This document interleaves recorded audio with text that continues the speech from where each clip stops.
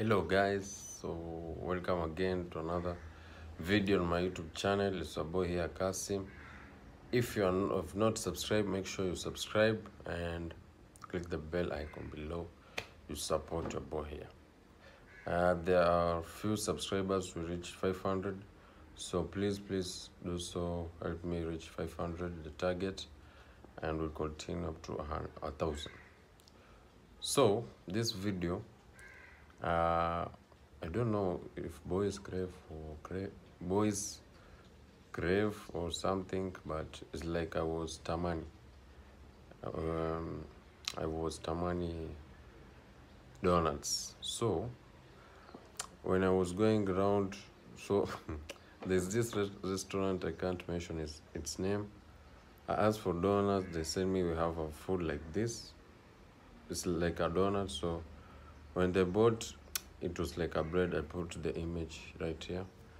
And then after that went to another restaurant cafe point.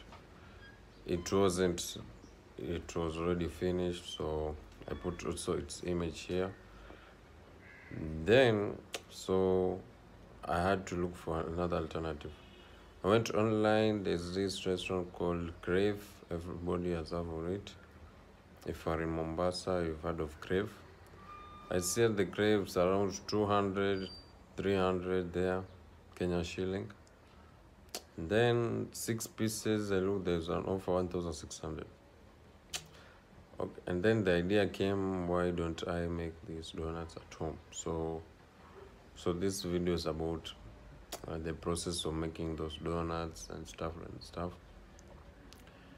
I'll put the the ingredients and the description down below. So it wasn't perfect as much but it's good to satisfy the crave right? So look at the video and comment down below. And then even i might give away some donuts something like that. So if you follow also the the procedure you might get your donuts too. So look at the video and yeah hope you enjoy. And then so i, I went uh, i ended up at the last stage buying some products. The ingredients a mobile piece of unga and food color and the toppings i bought shimari and yeah it came out well. You can look stay at, up to the last video. You up to the last picture you see the final product. The i think when you make it at home it's kind of you make a lot of pieces and also you get to save some cash.